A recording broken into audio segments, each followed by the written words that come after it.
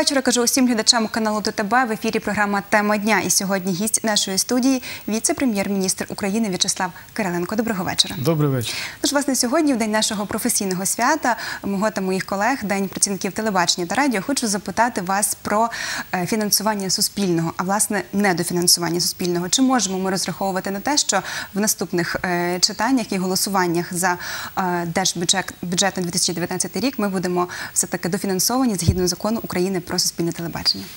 По-перше, я приєднуюсь до привітань, які ви вже очевидно Дякую. багато разів сьогодні отримали, і всі ваші колеги із Днем е, працівника телебачення і радіо. Дякую. Ваша робота дуже важлива.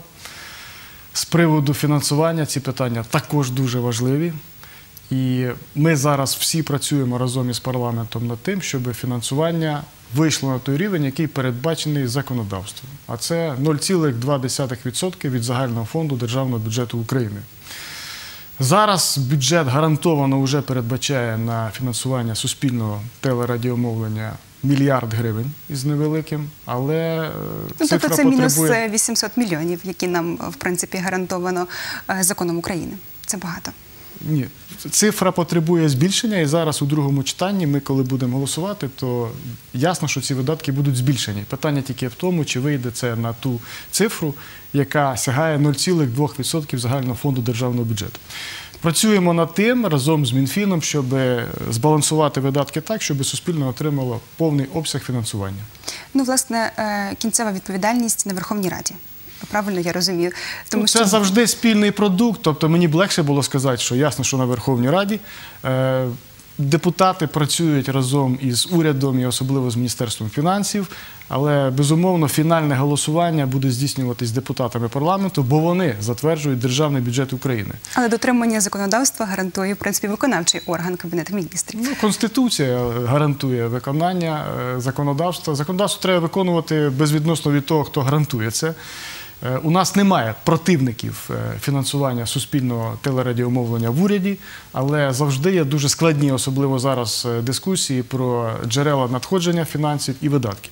Я переконаний, що цифра буде збільшена. Тобто, це можна сказати із великою точністю. Ми можемо сприймати це як невеличку обіцянку. Я вам скажу по секрету, що на останньому засіданні, перед засіданням уряду на нараді, ми це питання обговорювали. І є доручення Міністерству фінансів, щоб знайти додаткові кошти для фінансування суспільного. Е, Дякуємо. Хочу прийти до е, питань релігійних. Власне, поки Київ і вся Україна очікує е, про надання Томосу, стало відомо, що споруди Почаївської лаври, які перебувають у державній власності, передали в оренду московському патріархату до 2052 року. Про це свідчить витяг з державного реєстру майнових прав. В нас є цей документ. Я хочу, щоб ви подивилися невеличке відео і власне потім прокоментували ситуацію, чому так сталося. Прошу відео до ефіру. Московський патріархат отримав Почаївську лавру в оренду до 2052 року. Депутат Почаївської міської ради Тарас Паляниця оприлюднив витяг з держреєстру речових прав на нерухоме майно, де вказано, що державний реєстратор Андрій Яремко оформив комплекс історико-архітектурних споруд Свято-Успенської Почаївської лаври на користь УПЦ МП.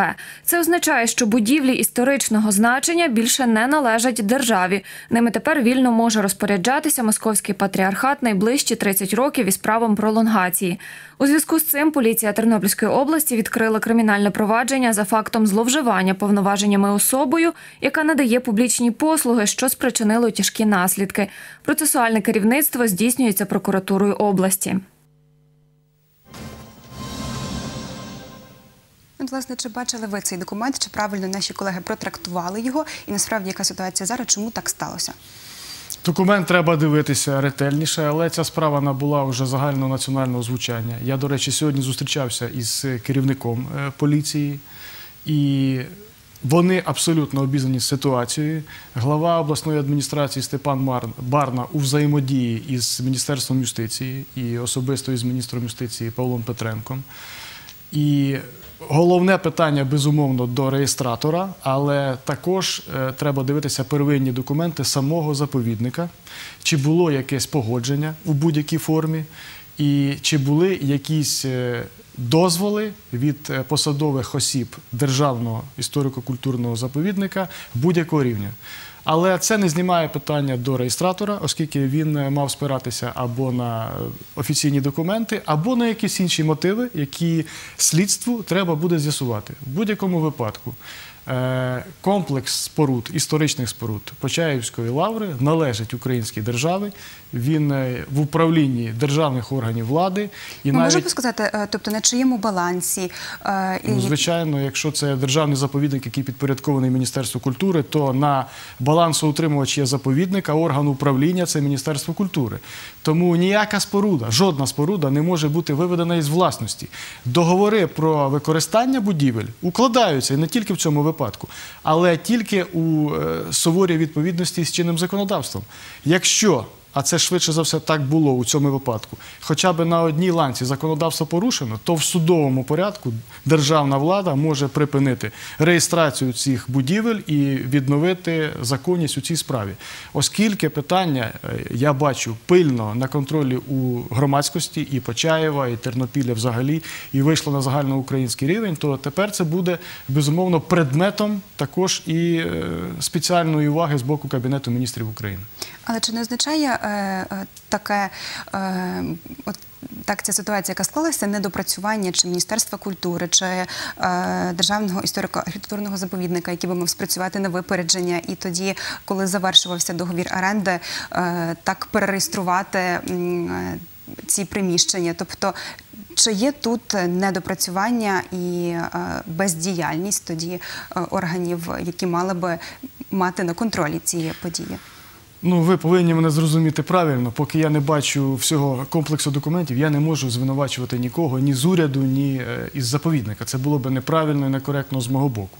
Але справу порушено, всі документи ми будемо перевіряти, і поліція, і думаю, відповідні урядові органи. І ближчим часом і на рівні Тернопільської області, і на рівні Києва буде інформація змістовна і вичерпна по цій темі. В тому числі, напевно, будуть і названі якщо це буде з'ясовано, і якісь посадові особи, чи рівня заповідника, чи рівня вищого навіть.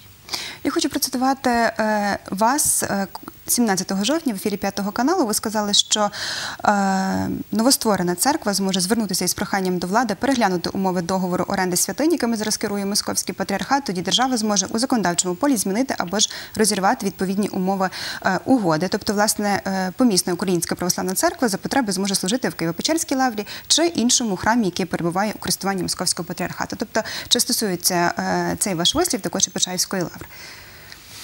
Я не впевнений, чи я вживав слово розірвати, але переглянути умови точно, якщо буде звернення об'єднаної автокефальної канонічної української православної церкви, на постання якої ми чекаємо від дня на день. Безумовно, це буде єдина канонічна українська церква, яка буде мати всі права від Константинополя, від Вселенського патріарха. І вони будуть також вирішувати свої організаційні питання, в тому числі і питання майна. Ви знаєте, що церковне майно, як правило, е, утримується самими релігійними організаціями. Тобто церкви будуються і вони на балансі відповідних конфесій. Але є державні будівлі, державні заповідники, цілі комплекси будівель, які належать українській державі, але які у використанні тієї чи іншої релігійної громади. Тобто, безумовно, найбільш резонансні випадки такі, то це лаври. Почаївська лавра, яку ми щойно обговорювали, Києво-Печерська лавра. Там є договори, які укладені між заповідником відповідним історико-культурним і релігійною конфесією. Наприклад, це УПЦ МП зараз у випадку щодо Києво-Печерської лаври та власне і Почаївської.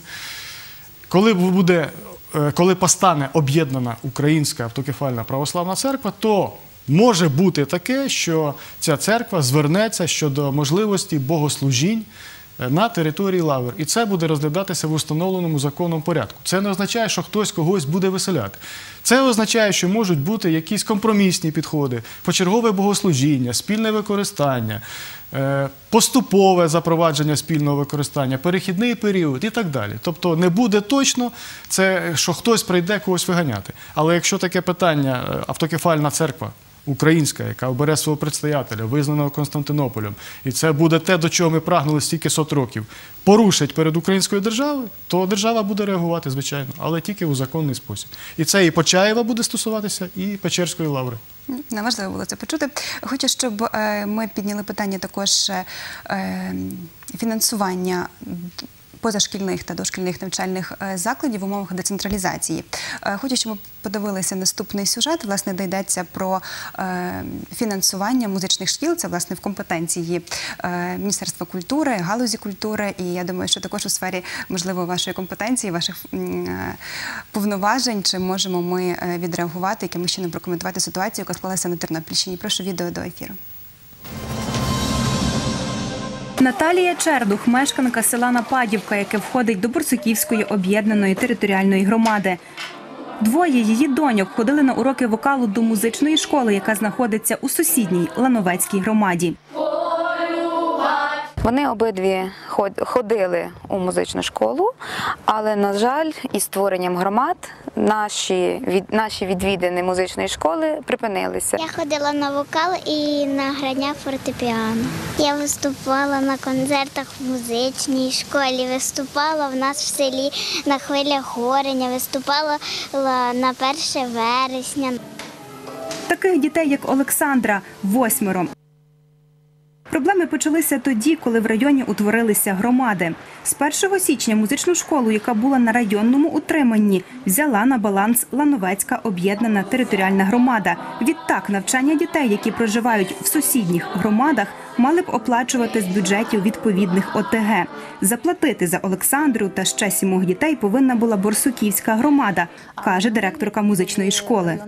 Борсуківська громада фактично відмовляється з нами співпрацювати, розмовляти, говорити. Листи посилаємо. Листи е, були написані на управління культури і були написані е, на громаду. Відповіді не було ніякої. Навчання однієї дитини у музичній школі коштує Лановецькій ОТГ 1200 гривень на місяць. Аби довчити дітей в умовах недофінансування, вчителі йшли у відпустки за власний рахунок. Та вже з 1 вересня, за рішенням сесії Лановецької міської ради, вісьмох дітей виключили з музичної школи. Голова Бурсуківської громади каже, що минулого року борг виник через те, що вони не платили за навчання тих дітей, чиї батьки працюють у Ланівцях, адже податок з доходів фізичних осіб цих батьків наповнює не їхній бюджет, а Лановецьку ОТГ. Таку практику планують продовжити і цього року. Рішення сесії Лановецької міської ради таку вибірку не передбачає. Дітей зарахують до школи лише після отримання коштів. У Ланівцях кажуть, що за навчання вісьмого дітей у цьому році Бурсуківська громада має заплатити приблизно 115 тисяч гривень. Працюють, не працюють, є чітке рішення сесії. Відповідно до того, є закладені кошти, працюємо. Нема закладених коштів, дуже прикро, але потрібно деколи ставити якісь там пріоритети. Скільки заплатить, так само діти ті прийдуть. Як би воно грубо не звучало з моєї сторони, але потрібно теж мати порядок. Бо якщо я порахую, наприклад, скільки людей з Лановець працює в Борцюківській ОТЕ, то я задам питання, що напевно ти мені ще боргуєш. Тобто ми не обговорюємо цього. Я розумію, що е, питання місцеве і е, так навряд чи е, ви можете бути в курсі. Але якщо ми говоримо про загальні речі, про міжбюджетні трансферти, чи є на законодавчому рівні встановлена така відповідальність, чи вони затверджені, чи це рішення місцевих громад? Тому що в цьому випадку вийшло, що один голова вимагає заплатити, інший голова, ніби законодавчо, не зобов'язаний платити. Що в такому випадку робити? Такого роду ускладнень в зв'язку із е, створенням об'єднаних територіальних громад дуже багато. І не тільки вони стосуються музичних школ, а багатьох інших справ. Бо люди з'явилися гроші, і люди починають їх ділити, тобто місцеві громади, тобто представники місцевої громади у відповідних місцевих радах. Але я хочу сказати одне: що відраховувати вісім учнів тільки на підставі того, що не податки на доходи фізичних осіб надходять в бюджет іншої територіальної громади, але в тій територіальній громаді музичної школи ж тепер нема Немає. то це, я думаю, порушення і чинного законодавства про культуру, і прав людини, і Конституції, і закону про освіту, який передбачає, що право на позашкільну освіту також гарантоване. Відповідно, обидві ради повинні знайти можливості профінансувати музичну школу з тим, аби діти із сусідньої територіальної громади продовжили навчання і продовжували здобуття позашкільної освіти. Тому що це культура це культурою, але музична школа це позашкільна освіта.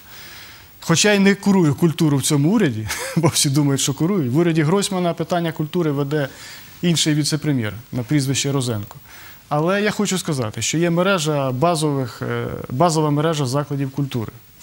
Е, Жодна школа чи бібліотека, музична школа не може закритися, якщо е, вона продовжує перебувати у базовій мережі, у мережі базових закладів культури. Е, Це означає, що перед тим, як будь-яка місцева громада приймає рішення чи про реструктуризацію шкіл, чи зміну фінансування музичних шкіл, чи тим більше відрахування дітей із-за того, що інша громада за них не сплачує, треба проводити консультації з відповідними органами, які займаються питаннями культури також. І виходити на, відпов... на центральні органи виконавчої влади, в тому числі на Міністерство культури, з тим, аби у нас в зв'язку з децентралізацією базова мережа закладів культури не усушувалася, тому що є такі намагання мінімізувати видатки на культуру, бібліотеки взагалі оголосити подекуди непотрібним. Музична школа хай буде там. Одна на декілька територіальних громад, об'єднаних навіть, і таким чином через 5-10 років це призведе до того, що не буде ні першого, ні другого. Може речі, до нас і звертаються керівники багатьох е, громад невеличких, яким важко утримувати, якщо це громада е, на базі кількох невеликих сіл, і там є музична школа. Виходить, що цій громаді важко утримувати. Одна з таких в Борщівському районі, Мельниця-Подільська. І е, керманичі цих громад говорять про можливе дофінансування з центру на культуру, на музичні школи і таке інше. Але Ну, у нас є субвенція медична і освітня, але на музичні школи нема. Знову ж таки, це ж завжди було питання комунальне. Фінансували місцеві громади, всі музичні школи. Є тільки декілька державних шкіл, які фінансуються із центрального бюджету через Міністерство культури. Тобто, якщо ця проблема не може бути вирішена на місцевому рівні, то тоді, звичайно, громади повинні сигналізувати консолідовано про те, що має бути відповідна субвенція. Але тоді буде виникати питання щодо спроможності кожної е, об'єднаної територіальної громади забезпечити базові потреби мешканців громади, в тому числі на здобуття позашкільної освіти. Якщо все буде вирішувати центр, то виникає питання, яка це децентралізація. Тобто ви скеровуєте гроші тільки ку- туди, куди вам цікаво. Значить, інших вісім дітей, бо вони з сусіднього села для вас не існує, а вирішувати повинен центральний уряд. Але якщо Це на законодавчому рівні прописати обов'язковість міжбюджетних трансфертів, тоді це може вирішити запитання. Та всі міжбюджетні трансферти і зараз е, розписані. Просто їх е, тлумачать через рішення сесії, як в цьому випадку. Це ж не означає, що це рішення воно базується на строгому прочитанні законодавства.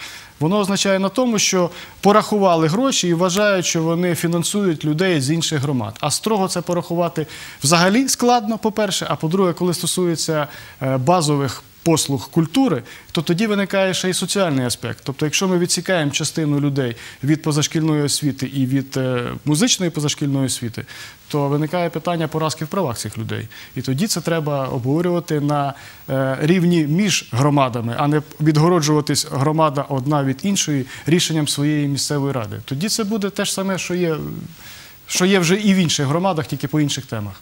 Почула вашу відповідь. Хочу перейти до наступної теми. Е, Нещодавно на Тернопільщині заборонили використання російськомовного культурного продукту. Про це повідомили у прес-службі. Е, Як ми зможемо протрактувати, проговорити е, таке рішення і взагалі чи можливо воно до використання? Давайте подивимося відео і повернемося до розмови. 6 листопада Тернопільська обласна рада вирішила встановити мораторій на публічне використання російськомовного культурного продукту в будь-яких формах на території Тернопільської області до моменту повного припинення окупації території України. Дане рішення оглядалось на комісії, оскільки поступили ініціативи звернення від, від громадських організацій, які патріотично налаштовані. Фактично я, як голова комісії, я представник теж такої самої сили, це Всеукраїнське об'єднання Свобода. Тому до нас питання агресії нашого сусіда в будь-якій формі для нас дуже скажімо, крайне важливе і для нас ми дуже, дуже це відчуваємо в будь-якій формі. Це ми називаємо гібридна війна, тому для нас що мова, що територіальні посягання там чи ефір нам дуже важливо. Що таке російська мова? Це продукт, де є пряма е, перенесення російської мови. Чи це аудіопродукт, чи це відеопродукт, чи це, скажімо, друкована продукція, це теж є продукт. Пісні, виступи артистів, це саме відчуваємо. Може, ми не замічаємо, але це воно в нас є. Щоб потім не казали, ми його не бачимо, ми привикаємо до нього, це стає нормою. Російськомовний продукт це є використання російської мови.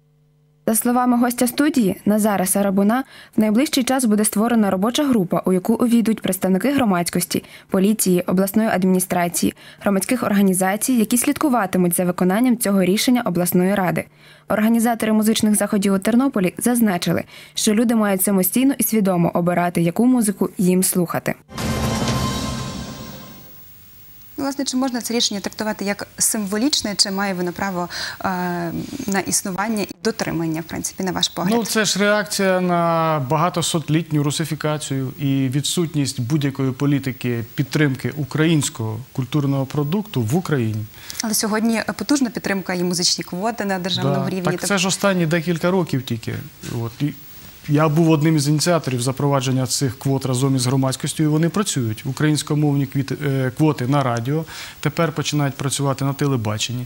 По гастролях я вніс законопроект, що російські гастролери без перевірки з боку СБУ сюди запрошені бути не можуть, бо вони гастролюють незаконно в Криму і говорять про нас казна що, а потім їх тут виловлюють і зупиняють уже інколи постфактум. Е, Щодо російської книги пропагандистської, я запропонував закон, парламент підтримав про запровадження дозвільної процедури. Тобто вся книжка тепер проходить з Росії походженням, експертну оцінку. Держкомтелерадіо має комісію, і пропаганда вже всі ці Дугіни, Проханови, все сюди вже не пройдуть. Але це підтримує наш е, книжковий ринок, квоти підтримують нашу радіо і е, музичну індустрію. Державна підтримка кіно запрацювала, новий закон діє. Десятки фільмів знімаються. Зараз у виробництві, якщо я точно по пам'яті, десь 83 фільми зараз у виробництві в Україні. І по, два, по, по дві прем'єри, починаючи з вересня місяця, вже відбуваються. І фільми збирають касу. От що головне. І люди ходять на ці фільми. Це є все підтримка українського культурного продукту, українськомовного культурного продукту. Ну а частина рад приймає рішення щодо е, заборони російськомовного продукту. Ну, значить, тут є таке бачення громади. Політично це реакція на багатосотлітню русифікацію. Ну, але в принципі його е, наскільки е, законне таке рішення, і чи в принципі можна його сприймати як таким, що справді заборона і певні санкції, відповідальність, чи в принципі символічно як ну от е, просто бачення таке?